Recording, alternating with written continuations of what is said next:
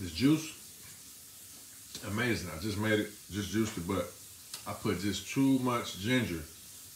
So next time we're gonna be all around point. See y'all soon.